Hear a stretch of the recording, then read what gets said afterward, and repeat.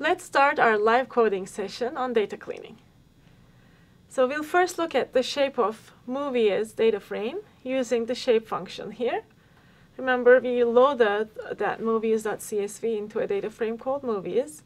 And if we uh, run the shape function here, uh, it gives us the number of rows and columns in the data frame. So we see that there's about 27,000 rows, records that means, of movies. Next, uh, we'll check if any row has null values in any of our data frames. Here, um, we use the isNull function first. So what I'll do is movie_is dot is null.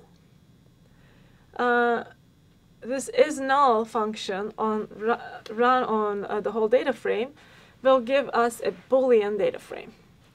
Um, for movies, that movie uh, the data frame will be composed of three series uh, for each column for user ID, movie ID, and rating. And then we'll check if any of those values um, are true. Uh, all of them are false, which is great. That means we have no null values uh, in the movies dataset. Um, so we'll do the same exercise for ratings. Um, we'll check if any of the values in the ratings is null. Uh, they are not. All the columns have um, values in them. There are no missing values.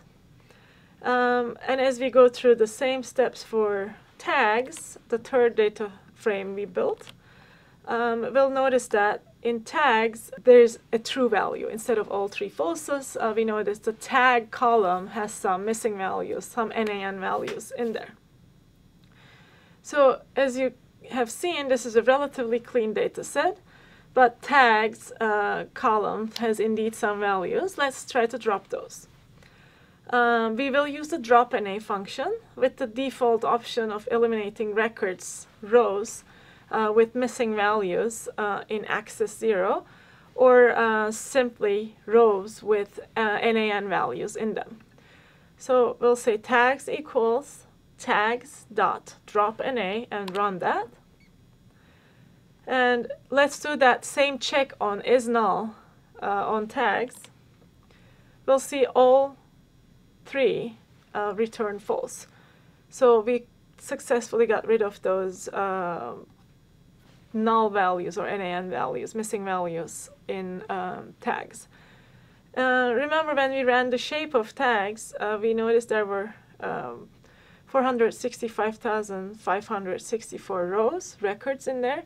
Let's run the same shape and see if we indeed removed some of them. Uh, looks like uh, we removed now there's uh, 465,548 uh, rows, records, uh, and looks like we really removed 16 rows uh, with missing data values in them. Okay, let's stop here and see how we can explore this data set through simple visualizations in Pandas next.